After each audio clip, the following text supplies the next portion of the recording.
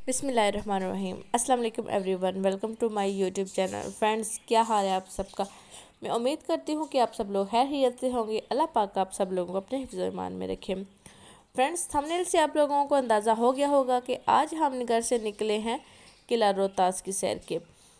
तो हमने सोचा आप लोगों के साथ भी किला रोहतास का विज़िट करवाएँ। तो फ्रेंड्स, आप सब लोगों से रिक्वेस्ट है कि प्लीज़ मेरी वीडियो को लाइक करें, शेयर करें और अपने प्यारे प्यारे हाथों से प्यारे प्यारे कमेंट्स करें। तो फ्रेंड्स चलते हैं वीडियो में आगे।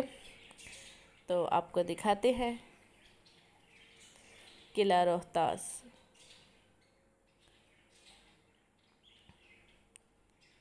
आज सुबह बहुत ज़्यादा बारिश हुई है, जिसकी वजह से यहाँ का पानी बहुत ज़्यादा गंदा है, मट्टी वाला है। तो बारिशों की वजह से इस तरह हुआ, वरना यहाँ का पानी बहुत शफाफ है। और ये पुल बहुत ऊंचाई पे है, बहुत ज़्यादा ऊंचाई पे है।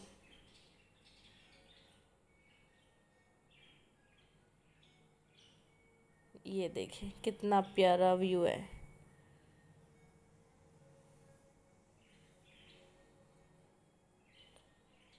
फातिमा खुश हुई है कह रही है कि मुझे छोड़े, मैं घूमूं, लेकिन ये है कि रोड है तो डर लगता है यहीं कहीं गाड़ी ना आ जाए। जी द फ्रेंड्स, हम आ चुके हैं किला रोहतास। ये किला रोहतास का दाखिली दरवाज़ा है। मैं फ़र्स्ट टाइम आ रही हूँ यहाँ पे। तो आज जो कुछ भी देखेंगे, आप लोगों के साथ ही देखेंगे।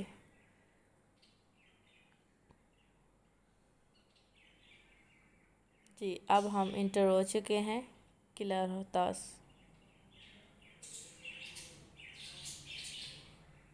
किला रोहतास में यहाँ की जो बहुत ज़्यादा मशहूर है, इसके गेट के यहाँ पे आई थिंक बारह गेट हैं इसके। ये यहाँ पे जब हम अंदर आए हैं तो यहाँ पे सारा इनका, इसका इंट्रोडक्शन लिखा हुआ है कि किस साइड पे कौन सी जगह है। ये देखें। ये यहाँ पे लिखा हुआ है, किला रोहतास हमारा कौमी असासा है। तो इसकी हिफाजत करें। कचरा वगैरह ना फेंके, लेकिन लोग अमल कोई नहीं इतना करते। जगह जगह लोगों ने कचरा फेंका हुआ था। तो मैंने कहा कि सबसे देखने से पहले जो हम शुरू से सुनते आ रहे हैं कि यहाँ पे एक कुआँ है, जिसे बावली बोलते हैं, वहाँ पे बहुत ज़्यादा सीढ़ियाँ और वो अंदर की तरफ़ जाती हैं। तो मैं फ़र्स्ट टाइम वो देखने के लिए हम सबसे पहले इधर आए हैं। तो फ्रेंड्स, ये वो कुआँ है, बावली से बोलते हैं। तो इस सीढ़ियों से ये अंदर जाता है। मैं बहुत एक्साइटेड हूँ देखने के लिए क्योंकि मैं फ़र्स्ट टाइम आई हूँ। जस्ट किताबों में पढ़ा है, लोगों से सुना है। तो ये यहाँ का सोहेल गेट है। यहाँ पे बाहर सारी हिस्ट्री लिखी हुई है इसकी। ये देखिए ये सोहेल गेट है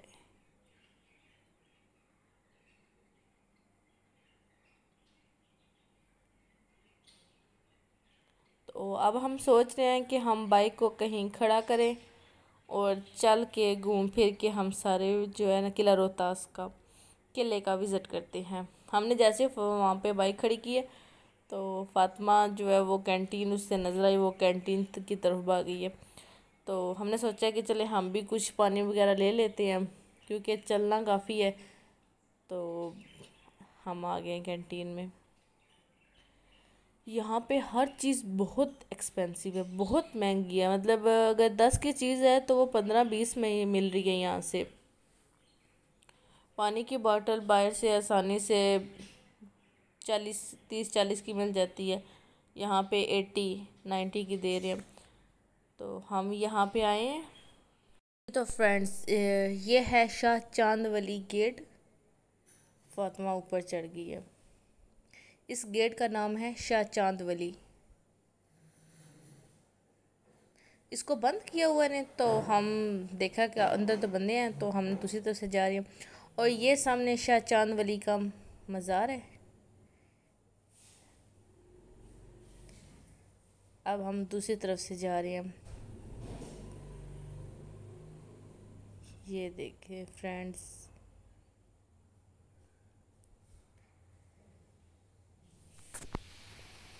अब हम दूसरी तरफ़ से आ रहे हैं क्योंकि जो शाह चाँद वली जो गेट है, वो तो बंद था तो हम ये दूसरी तरफ़ से खुला हुआ, हम इस साइड पे आए हैं। ये देखें फ्रेंड्स किस कदर नफासत के साथ ये इमारत तमीर है, किला, ये किला तमीर किया गया है। चार सौ साल पुराना किला।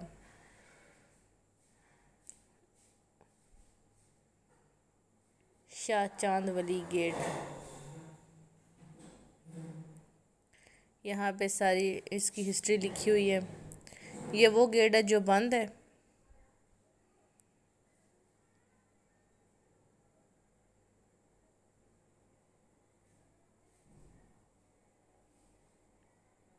ये देखें, यहाँ पे काफ़ी फैमिलीज़ वगैरह आई हुई हैं। तो वो जो है वो तस्वीरें वगैरह बना रहे हैं तो इसलिए हम ऊपर नहीं गए, उस दूसरी साइड पे नहीं गए। जी, अब हम वहाँ से बाहर आ गए हम।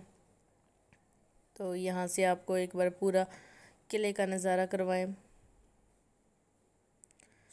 अब हम जा रहे हैं राजा मान सिंह की हवेली की तरफ़।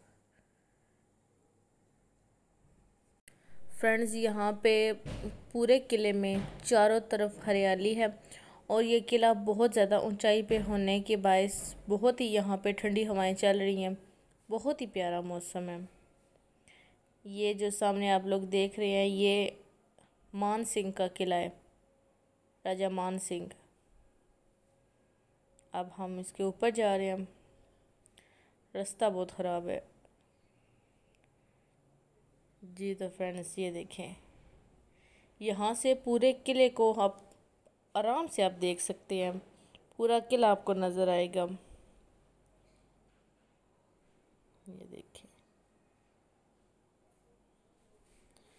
पहले हम इसको नीचे साइड नीचे से अंदरूनी साइड देखते हैं, फिर हम ऊपर जाएँगे।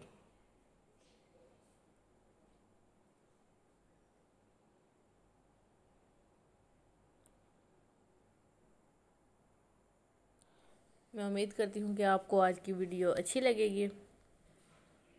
तो मेरी आप सब लोगों से रिक्वेस्ट है कि प्लीज़ वीडियो को फुल वॉच करें। वो सामने जो है वो रानी का महल है।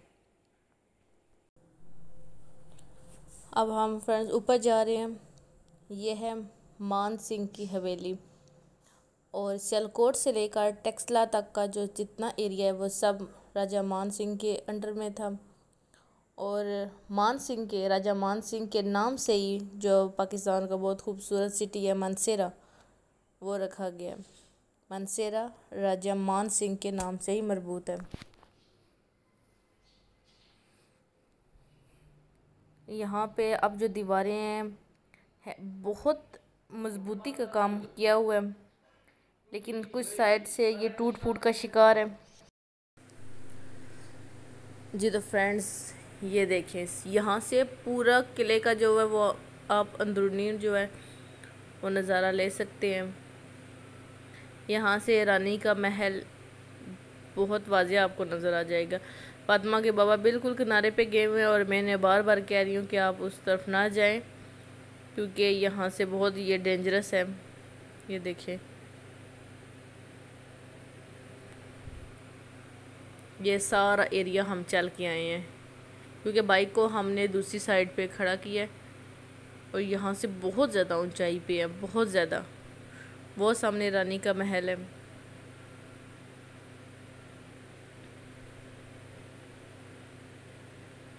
और ऊंचाई पे, काफ़ी ऊंचाई पे यहाँ पे बहुत ठंडी हवाएँ चल रही हैं।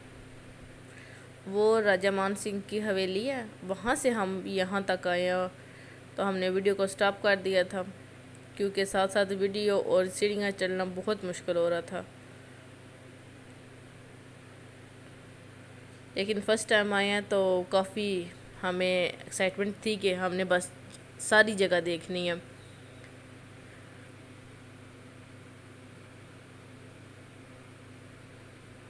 ये किले की जो दीवार है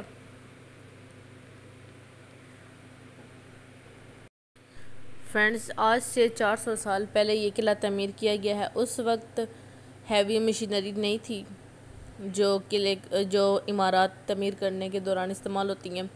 तो इस किले को, की तमीर में इंसानी हाथों का ये कमाल है कि इस कदर उन्होंने मज़बूती के साथ, मज़बूती के साथ जो है किलो, किले को तमीर किया है। और आज भी ये किला अपनी असल हालत में मौजूद है।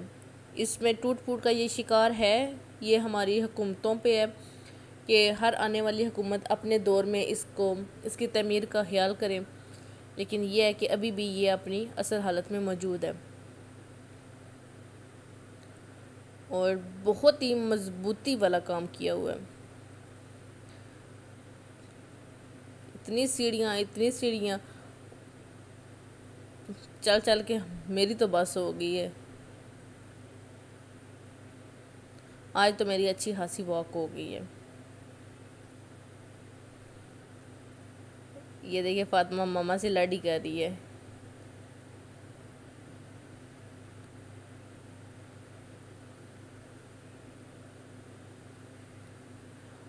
और फ्रेंड्स किले के जो बैरूनी तरफ़ है, बहुत ज़्यादा गहरी खाइयाँ हैं।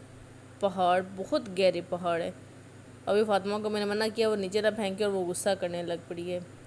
ये देखें अब मुझे इसकी हिस्ट्री का तो इतना नहीं पता कि ये जगह या तो टूट फूट का शिकार है, या उन्होंने खुद रखा हुआ ऐसे। लेकिन है डेंजरस बंदा गिर सकता है। हम तो यहाँ पे थोड़ी देर के लिए बैठ गए हैं कि थोड़ी देर स्टे यहाँ पर कर लें। अब फिर हम वापस चल पड़े हैं। ये देखें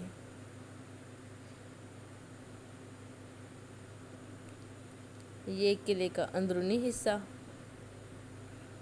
और जो किले की दीवार है, वो बहुत चौड़ी है, कई फुट चौड़ी है।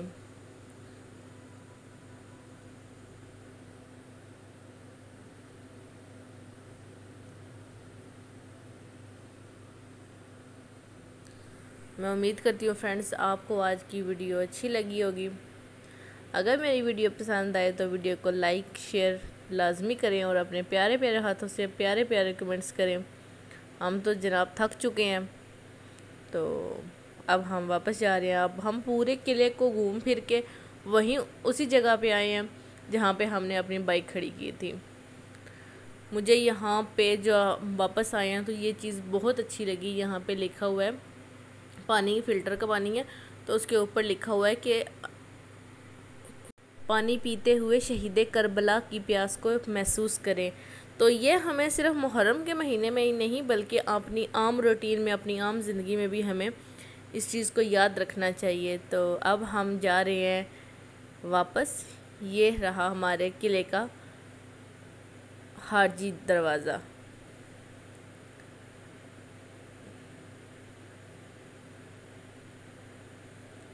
मैं उम्मीद करती हूँ कि आपको आज की वीडियो पसंद आई होगी। तो वीडियो को लाइक, शेयर लाजमी करें। अल्लाह हाफिज़। Thanks for watching